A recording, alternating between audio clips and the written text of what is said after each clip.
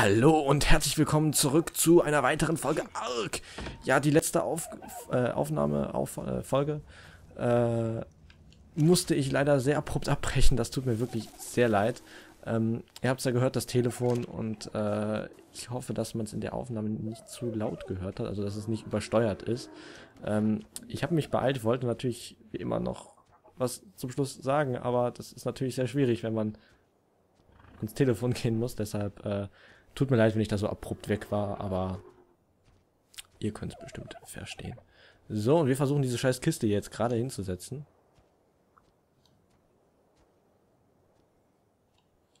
Wobei ich sogar Angst habe, dass die jetzt auf der anderen steht. Aber weißt du was? Das ist mir irgendwie egal. Irgendwie ist mir das egal. Ähm, so. Ich sag mal, wir packen wir werden auf jeden Fall mehr Kisten machen. Also in die Kiste wird all das Zeug kommen, was wir auf Reserve nehmen.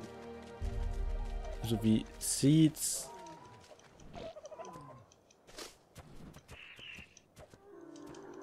Perlen.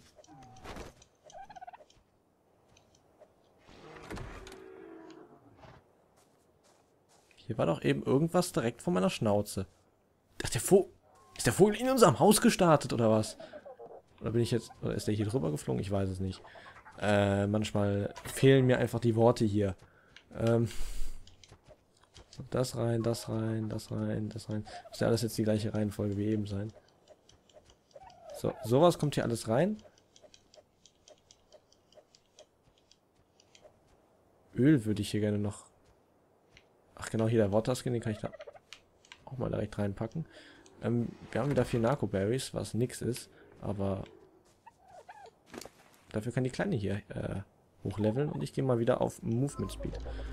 Auch wenn wir mit ihr nicht rumziehen, irgendwann werden wir umziehen und dann wird es uns auf jeden Fall äh, gut getan haben, dass wir da rein investiert haben.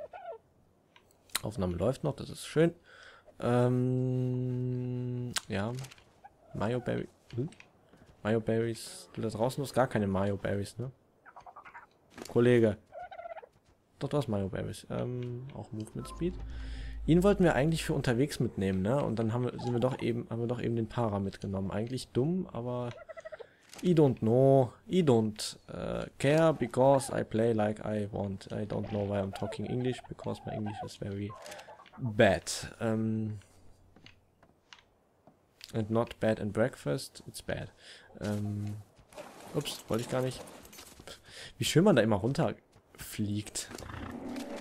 Okay, hier sind wirklich nur noch Bären dran. Dann setzen wir mal auf und ziehen wieder in diese Richtung Holzfällen, würde ich sagen. Wobei ich Angst habe, dass wir irgendwie angegriffen werden. Eben, ich habe die ganze Zeit das Gefühl, dass irgendwo was lauert da drüben und einfach nur drauf wartet, uns gleich zu verschlingen. Es sind bestimmt die zwei Dodos hier, die planen schon. Die planen schon, diese hinterhältigen. Okay. Wir parken ihn nicht so weit weg, aber noch so weit, dass er nicht angegriffen werden sollte, hoffentlich. So.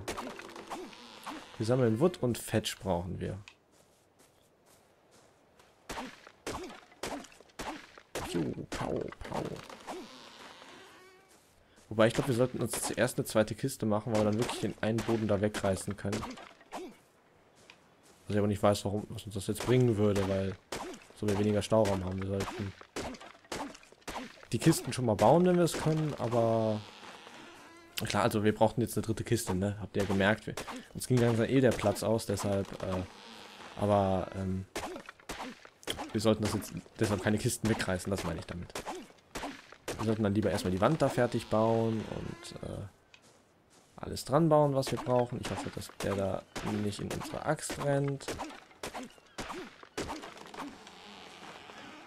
Liebst du mich, wenn ich dich befreie? Oh. Ohne Werkzeug kann man nichts befreien, Nick. Ich glaube, he's stucking in the trees. Aber ich habe Angst. Ich habe Angst, die Bäume zu fällen, weil ich weiß, dass er uns angreifen wird. Oh, und ich trage schon wieder zu viel. Oh, Seht mal, was da direkt neben unserem Parasaurus gelandet ist. Gott sei Dank ist er friedlich. Er ist ein Fleischfresser, aber er ist friedlich. Das freut mich immer sehr. Hallo? Oh, und der fliegt ausnahmsweise mal nicht weg. Immerhin hast du auch schon ein Level up? Ne, noch nicht. Ähm oh, wir haben ja wieder ganz gut Holz gesammelt. Sache ist, wir müssen natürlich auch immer aufpassen, dass Emma nicht zu viel trägt. Vor allem muss Emma ja auch noch uns tragen. Das muss man auch noch immer beachten. Ist schön und gut, wenn unser ganzes Zeug reinpasst. Aber wir wollen ja auch noch drauf reiten. Ansonsten laufen wir eben neben Emma her. Ist auch kein Problem, aber ähm, ich bezweifle, dass, uns das, dass wir dann recht schnell sind.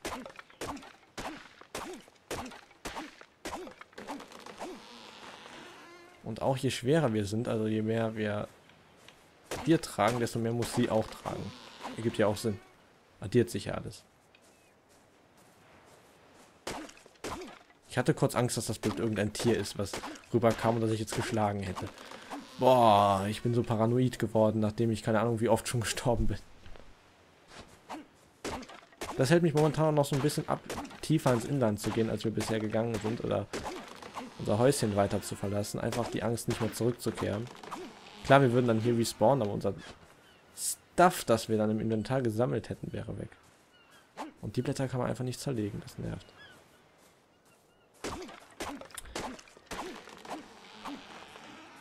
Ich hoffe, dass äh, das Let's Play auch noch immer, immer noch unterhaltsam ist, auch wenn wir momentan einfach nicht so viel leisten. Na klar, wir haben jetzt ein paar Tiere gezähmt. Ähm, wenn wir endlich mal Level 15 sind, können wir auch wieder geile, Sach geile Sachen bauen.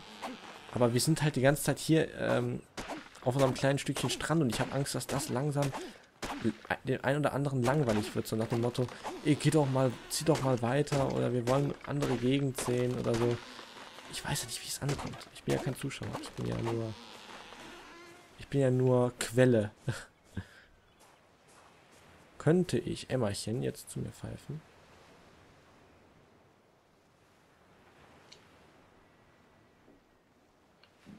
Ich habe nicht gepfiffen. Vielleicht, weil Emma nicht in Reichweite ist.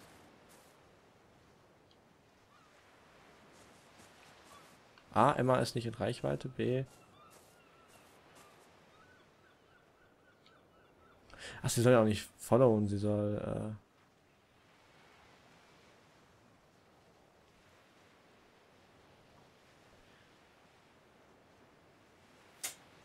Okay, keine Ahnung. Vielleicht geht es auch nicht, weil sie momentan ein Reittier ist. Hallo du. Na du. Hast du jetzt ein Level up? Ja, jetzt hast du ein Level up. Oh, und es fängt wieder an zu regnen. Ihr wisst ja, wie äh, ich mich freue, wenn es regnet. Wir gehen mal ein bisschen auf Tragkraft. Dann können wir sie ein bisschen voller beladen. Beziehungsweise kommen jetzt vielleicht sogar schon schneller nach Hause. Ihr seht schon, auch wenn wir rennen, sind wir so schnell, wie wenn wir gehen. wir rennen gerade. Also mit Emma. Nicht wir rennen, wir sitzen oben drauf. Ich vernehme seltsame Laute.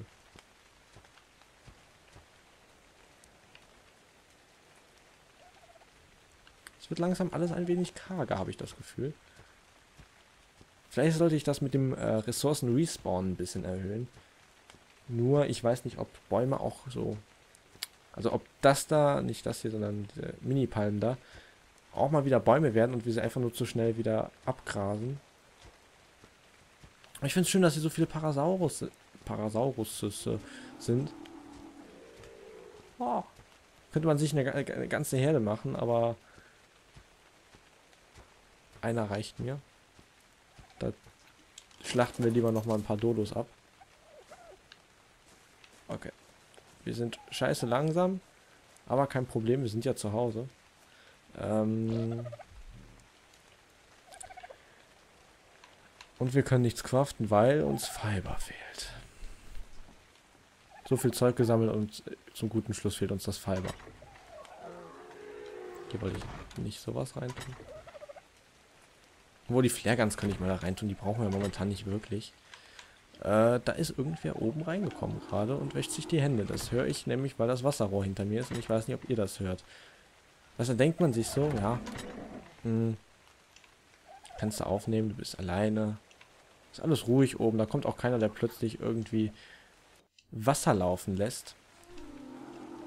Und dann so, fuck that shit. Wasser. Ähm ich habe keine Ahnung, die wollten, also meine Familie, wollte in die Stadt fahren. Aber anscheinend hat es in der Stadt nicht gefallen. Oder warum ist da wieder irgendwer oben die Stühle am rumschieben?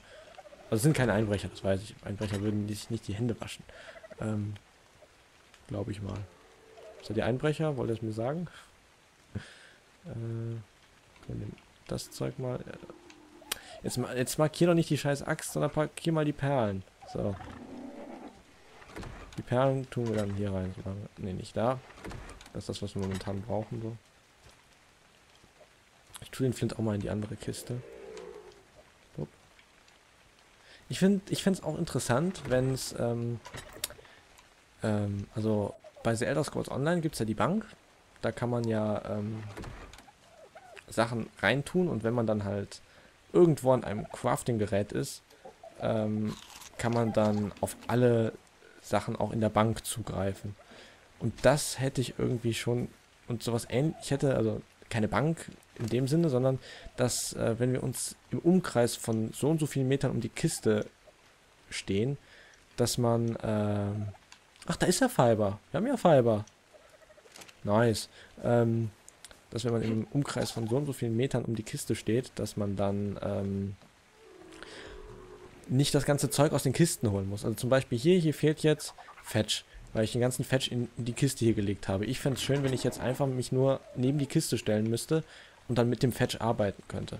Aber nee, so muss ich jedes Mal das Zeugs rumschieben, wobei ich ja meistens auch nicht alles brauche. So, noch ein paar Böden bauen. Ein Boden. Na gut, ein Boden ist besser als kein Boden. Oh, wir haben alle Steine rausgenommen. Vielleicht nicht so schlau, weil wir dann nichts mehr für die Stein... Doch, einen Schuss haben wir in der Steinschleuder. Okay. Mhm. Bupp. Das wird eine schöne Wand, wenn es mal fertig ist. Und dann, das ist so ein Eckding, ne? Demolischen wir erstmal das hier, bis wir genug ups, Zeugs haben, um die entstehenden Wände auch zu machen. Meine Schwester ist, glaube ich, da. Warum ist meine... Sch Wo kommt meine Schwester denn her?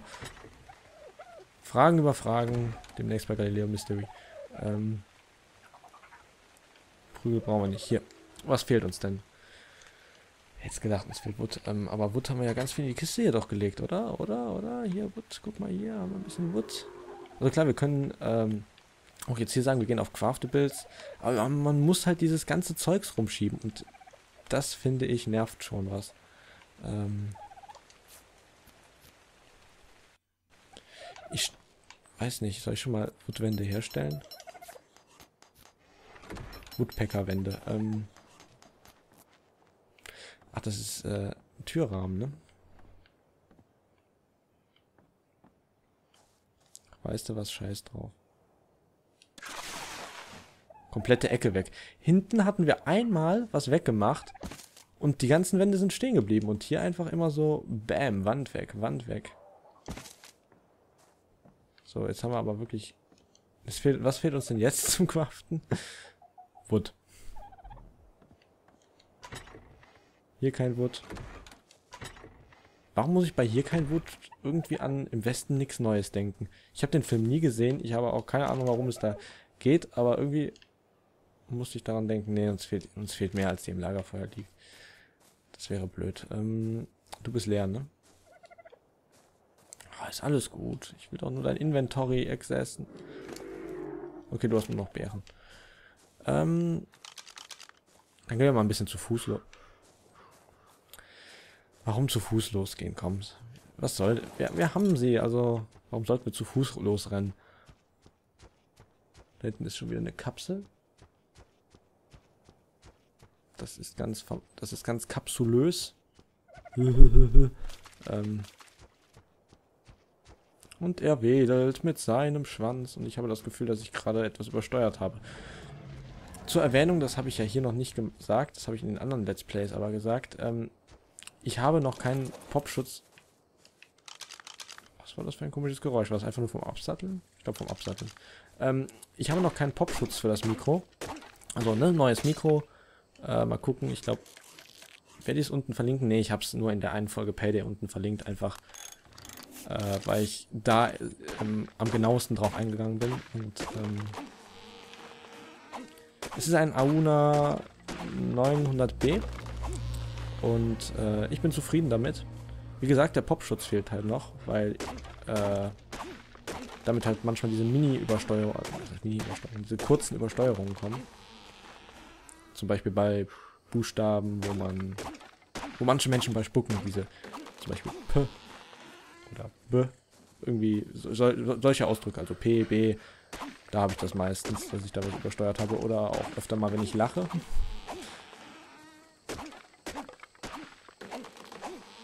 Können wir eine Wand herstellen? Okay, eine, wir haben wir haben eine Wand hergestellt. Ich glaube, das war nur der Dicke, der da gelandet ist, ne? Schleppen einfach mal so eine Wand mit uns, ne? Kann man mal machen.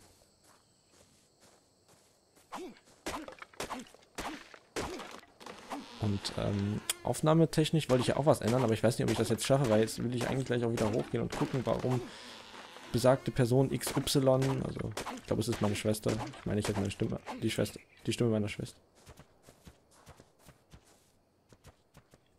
Mach Platz, hier kommt der Landvogt. Äh, keine Ahnung. Es sah, so, sah wirklich so aus, er kräht so. Äh, und ich gehe beiseite und äh, er stolziert entlang. Ähm, Finde ich aber interessant. Ich wusste gar nicht, dass die so zahm sind. Ich dachte, die fliegen bei ich dachte, die wären immer weggeflogen, weil wir zu nahe gekommen sind, aber anscheinend fliegen die nur weg, wenn man sie angreift. Apropos angreifen, ich hoffe, dass der nicht in unsere Richtung läuft. Und mit dem werden wir uns nicht anlegen können, allein schon, weil wir keinen Pfeil und Bogen haben.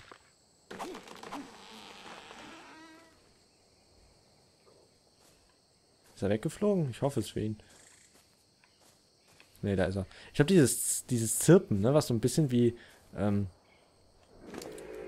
ne, das Zirpen von Grillen klingt. Ähm, ich glaube, das ist das ist tatsächlich äh, der Flieger da drüben, ne? Und ich kann es sein, dass ich das ganze Material von der Kiste mitgenommen habe, wie zum Beispiel Fiber.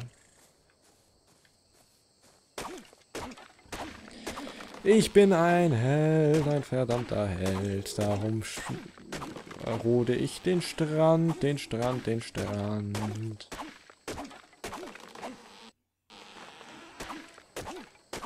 Aber ich ähm, hatte ja vom, hat ja letzte Folge angesprochen, ähm, dass ich, dass es, dass ich Angst habe, dass irgendwer, ähm, ja, gelangweilt davon kommen könnte, aber die Sache ist, es passiert ja auch immer wieder was anderes. Mal werden wir von einem Trike gejagt, mal von einem Gigantopithecus, mal verschwinden irgendwelche Dilophosauren im Boden. Das ist ja immer wieder was Neues, also so ist es ja nicht. Oder wir sterben in Kälte, weil wir dumm sind. Okay, ich nehme den Baum hier noch mit und dann gehe ich mal wieder zurück zum Para. Ich weiß nicht mit dem ganzen Kram, was wir ihm aufgeladen ha haben, wie viel er noch tragen kann. Ja, komm. Wir drauf und dann ist er jetzt auch schon fast voll. Und da habe ich aus Versehen RT gedrückt, weil ich damit Gas geben wollte. Ich wollte gerade mit RT Gas geben, als hätte ich einen Rennwagen hier. Aus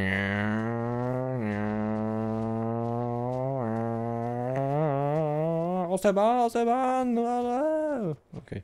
Äh, wir stecken tatsächlich fest. Weg da. Entschuldigung. Ich habe gerade Angst, dass das voll übersteuert hat. Wie gesagt, kein Popschutz und so. Oh, hier laufen ein paar Dodos rum. Wir könnten uns eine Dodo-Farm machen, aber bringt eigentlich nicht viel, außer dass die süß aussehen. Muss man mal so sagen, sie sehen süß aus, aber viel bringen tun sie nichts. Ähm, das lasse ich jetzt erstmal als Lieferanteneinfahrt hier so stehen. Lieferanteneinfahrt, ja. Ähm.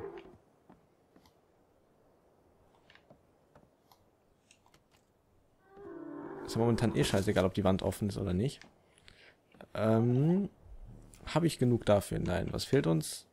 Bestimmt Fiber und Wood, ja, das ist ja alles hier drin. So. Und Dann nehmen wir mal alles, was die gute Emma zu bieten hat. Auch wenn das heißt, dass wir völlig überladen sind, dass wir uns gleich vermutlich nicht mehr bewegen können.